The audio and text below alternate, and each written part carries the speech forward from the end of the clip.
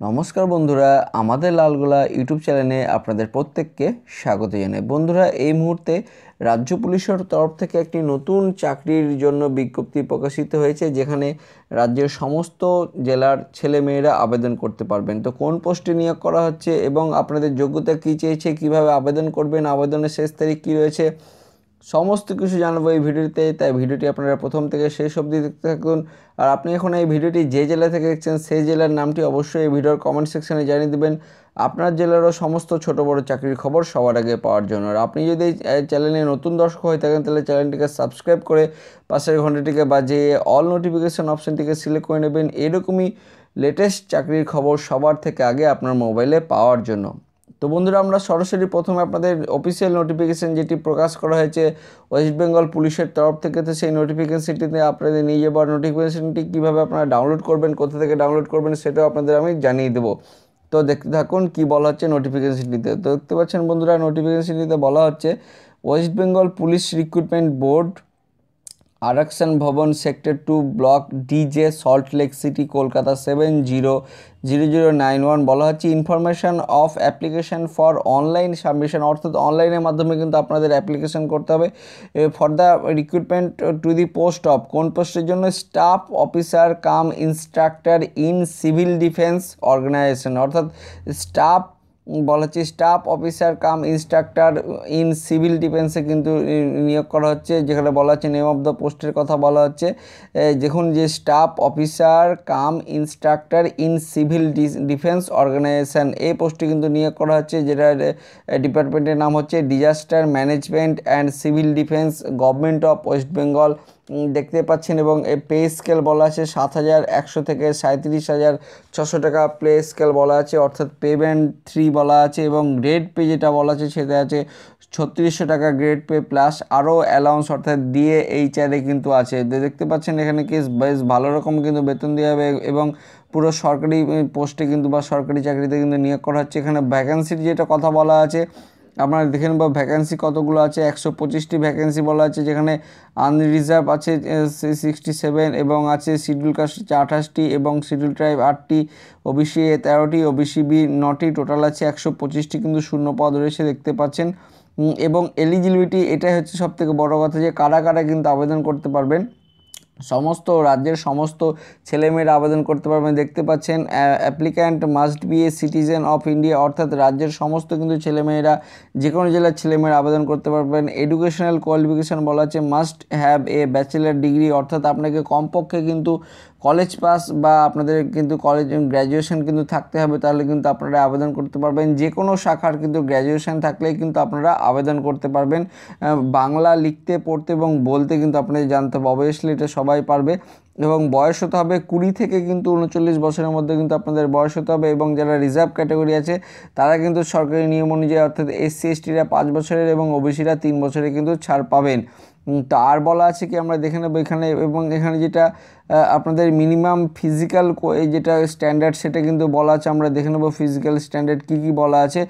মেলদের জন্য কাদের জন্য mail except অর্থাৎ বাদ দিয়ে, গোর্খা, রাজবংশী গারোয়ালি সিডিউল ট্রাইব এদের বাদ দিয়ে যারা মেল বা পুরুষ প্রার্থীরা কিন্তু যেটা হাইট হতে হবে, একশো সাতষট্টি সেন্টিমিটার কিন্তু হাইট হতে হাইট হতে হবে এবং চেস্ট হতে হবে, না ফুলিয়ে সেভেন্টি এইট সেমি হতে হবে এবং এক্সপেন্সার অর্থাৎ ফুলানোর পরে কিন্তু আরও পাঁচ সেমি মানে আপনাদের এইটটি থ্রি কিন্তু সেমি কিন্তু হতে হবে। ওয়েট কিন্তু একটা ছক দিয়েছে, ছক অনুযায়ী আপনাদের ওয়েট হতে হবে। ছকটা আমি নিচে দেখাচ্ছি, নিচের দিকে আছে এবং যারা গোর্খা, রাজবংশী, গারোয়ালি শিডিউল ট্রাইব তাদের কিন্তু হাইট হতে হবে একশো ষাট সেমি হতে হবে এবং চেস্ট হতে হবে সিক্সটি সেভেন্টি সিক্স সেমি হতে হবে এবং ফুলিয়ে আরও পাঁচ সেমি কিন্তু বাড়াতে হবে এবং ওজন আপনাদের যে তালিকা দিয়েছে সেই তালিকা অনুযায়ী হতে হবে এবং যারা মহিলা প্রার্থী তাদেরকে যেখানে বলা আছে যে আপনাদের যারা ওই রাজবংশী গোর্খা গরওয়ালি শিডিউল ট্রাইব এদের কিন্তু হাইট হতে হবে একশো ষাট সেমি এবং যারা এই গোর্খা রাজবংশীদের বাদ দিয়ে কিন্তু একশো ষাট সেমি হতে হবে যারা গোর্খা রাজবংশী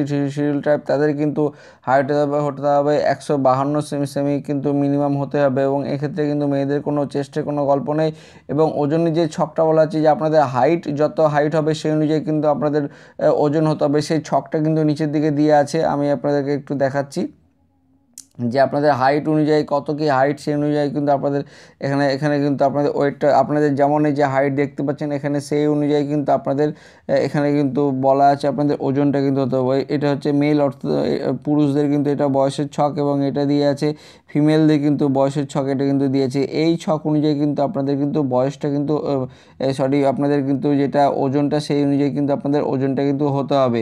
আর আপনাদের কিন্তু মোড অফ সিলেকশন যেটা বলা যায় চারটি ধাপে কিন্তু আপনাদের মোড অফ সিলেকশন হবে। যে প্রথমে আপনাদের প্রিলিমিনারি পরীক্ষা হবে, তারপর আপনাদের প্রিলিমিনারিতে যারা কিন্তু কোয়ালিফাই করবে, তাদের কিন্তু ফিজিক্যাল মেজারমেন্ট বা পিএমটি এবং ফিজিক্যাল এফিসিয়েন্সি বা পিইটি কিন্তু টেস্ট হবে তারপর আপনাদের ফাইনাল কম্বাইন বা কম্পিটিটিভ এক্সাম হবে দিয়ে আপনাদের পার্সোনালিটি টেস্ট হবে। তো যে ফিজিক্যাল মেজারমেন্ট এবং ফিজিক্যাল যে এফিসিয়েন্সি টেস্ট হবে, সেটা কিন্তু কেমন হবে সেটা এখানে বলা হচ্ছে। বা এক কথা যেটা মাঠের কথা বলা হয়, সে মাঠটা আপনাদের এরকম হতে হবে। যারা যারা যারা পুরুষ প্রার্থী, তাদের কিন্তু তিন মিনিটে কিন্তু আটশো মিটার দৌড়াতে হবে এবং যারা মহিলা প্রার্থী, তাদের কিন্তু দু মিনিটে কিন্তু চারশো মিটার কিন্তু দৌড়াতে হবে। এখানে কিন্তু বলা আছে যে এরকম কিন্তু আপনাদের ফিজিক্যাল মেজারমেন্ট এবং ফিজিক্যাল এফিসিয়েন্সি কিন্তু টেস্ট হবে। তো যারা ফিজিক্যাল মেজারমেন্ট এবং ফিজিক্যাল এফিসিয়েন্সি টেস্টে কোয়ালিফাই করবেন তাদের কিন্তু ফাইনাল কম্পিটিটিভ এক্সামের জন্য কিন্তু ডাকা হবে। এবং তারপরে পার্সোনালি টেস্ট কিন্তু হবে। তো ফাইনাল যে পরীক্ষাটা হবে তার এখানে কিন্তু দিয়ে আছে, আপনাদের সিলেবাসটাও দিয়েছি যে প্রথমে বলা আছে যে প্রিলিমিনারি এক্সামিনেশন যে সিলেবাসটা সেটা হচ্ছে দুশো নম্বরের সিলেবাস হবে এবং আপনাদের দুশো নম্বরের পরীক্ষার মধ্যে একশো নম্বরের যে পরীক্ষা হবে, সেটা কিন্তু হবে জেনারেল স্টাডিজের মধ্যে, যেখানে পঞ্চাশটা কোশ্চেন থাকবে এবং পঞ্চাশ নম্বরের কোশ্চেন হবে লজিক্যাল আর অ্যানালিটাল অ্যানালিটিক্যাল রিজনিংয়ের ওপরে, যেখানে পঁচিশটা কোশ্চেন থাকবে। আর পঞ্চাশ নম্বরের পরীক্ষা অ্যারিথমেটিকের ওপরে হবে, অর্থাৎ অঙ্ক, পাটিগণিত অঙ্কের ওপরে যেখানে কিন্তু পঁচিশটা কোশ্চেন থাকবে।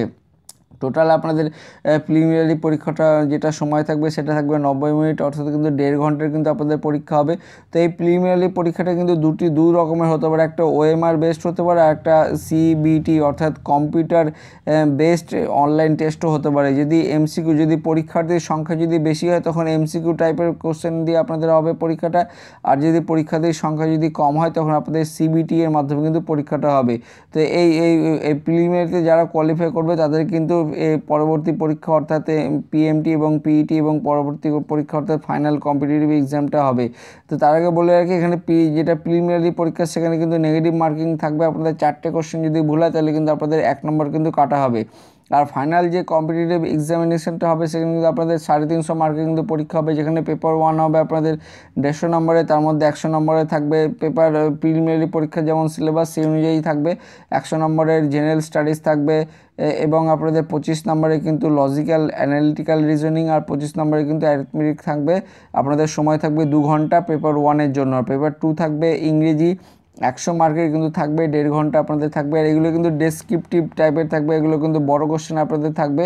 আর পেপার থ্রিতে থাকবে আপনাদের বেঙ্গলি হিন্দি উর্দু নেপালি বা এই সব ভাষার, যে কোনো কিন্তু ভাষার কিন্তু একশো নম্বরের আপনাদের পরীক্ষা থাকবে, দেড় ঘণ্টা টাইম এটা হচ্ছে ফাইনাল যেই কম্পিটিটিভ এক্সামিনেশান হবে সেটা কিন্তু সিলেবাস এবার সম্পূর্ণ সিলেবাসটি কিন্তু আপনাদের নিচের দিকে দিয়ে আছে যে প্রিলিমিনারি পরীক্ষার যে সিলেবাস এবং পে ফাইনাল পরীক্ষার পেপার ওয়ানের যে দুটো সিলেবাস সেই দুটো সিলেবাস কিন্তু একই আছে। অর্থাৎ general studies logical analytical reasoning আর অ্যারিথমেটিক এই তিনটে কিন্তু পেপার ওয়ান এবং প্রিলিমিনারি পরীক্ষা দুটোই কিন্তু একই কিন্তু সিলেবাস এবং বাকি যেগুলো থাকবে ফাইনাল পরীক্ষার সেটা হচ্ছে পেপার টু আর পেপার থ্রি তার সিলেবাস কিন্তু এখানে বলা আছে। আপনারা দেখে নেবেন এগুলো, এই এই যে এই নোটিফিকেশানটি আপনাদের আমি ডাউন দেখাবো। কীভাবে ডাউনলোড করবেন সেইভাবে কিন্তু আপনারা ডাউনলোড করে নেবেন এবং ভালো বিস্তারিতভাবে কিন্তু আপনারা দেখে নেবেন। আর এখানে অ্যাপয়েন্টিং যেটা করা হবে সেটা করব করা হবে director of civil defence west Bengal থেকে কিন্তু করা হবে।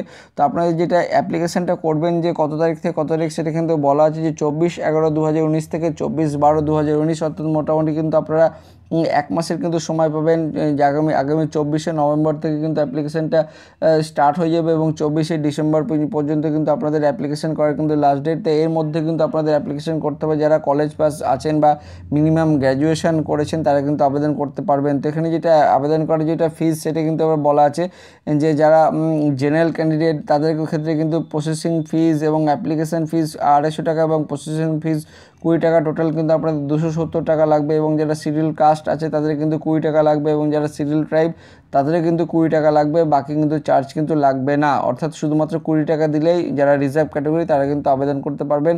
আর যারা সিরিয়াল ট্রাইব এবং যারা ওবিসি রয়েছেন, তাদের কিন্তু দুশো সত্তর টাকা লাগবে। এটা কিন্তু চার্জ আপনাদের দিতে হবে।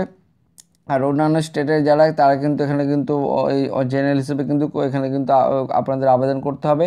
আর কোন ওয়েবসাইটে করবেন সেটা কিন্তু আপনাদের বলে দিই যে ওয়েবসাইট যেটা ওয়েস্ট বেঙ্গল পুলিশের যেটা অফিসিয়াল ওয়েবসাইট যেটা কিন্তু W dot W B police dot gov dot in যেটা কিন্তু আমাদের ওই ভিডিও ডিসক্রিপশনে দিয়ে থাকবে। আপনারা সেখানে কিন্তু ক্লিক করে এই অফিসিয়াল ওয়েবসাইটে চলে যেতে পারবেন এবং এই একটা অফিসিয়াল ওয়েবসাইটে কিন্তু একটা দেখতে পারবেন আপনারা।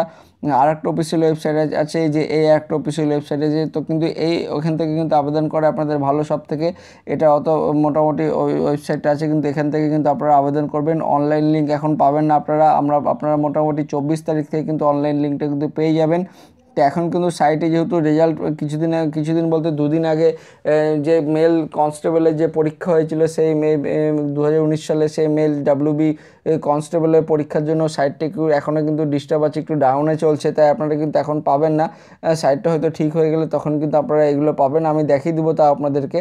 তো এই ছিল মোটামুটি আবেদন করার কিন্তু প্রসেস যে এইভাবে কিন্তু আপনাদের আবেদন করতে হবে।